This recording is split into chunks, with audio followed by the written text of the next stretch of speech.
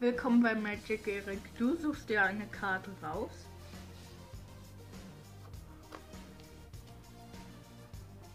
Jetzt kommt sie hier wieder zurück in das Kartenspiel hinein.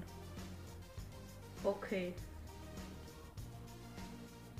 Dann werde ich es auch noch einmal abheben, so dass deine Karte hier im Kartenspiel verschwindet.